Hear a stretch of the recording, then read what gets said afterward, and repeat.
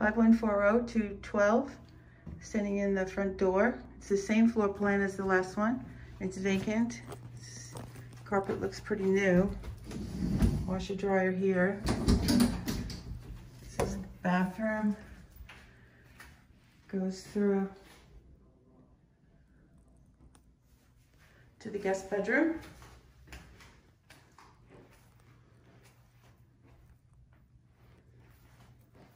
Guest bedroom leads up to the living room.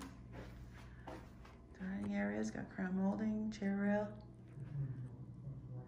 It's much brighter than the other one because it is an end unit. Has these built-ins.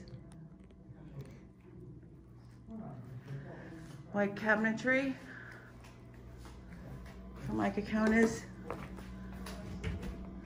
These are actually wood. A lot of them in here were foil wrapped. And so they were peeling. But that's wood. And here's the master, nice and bright. Ja. Look at that, look at that. And then the master bed, uh, bath. Ooh, the sun is bright today.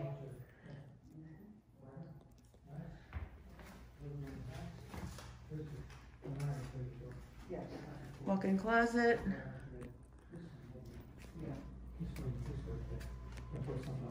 That's the front door.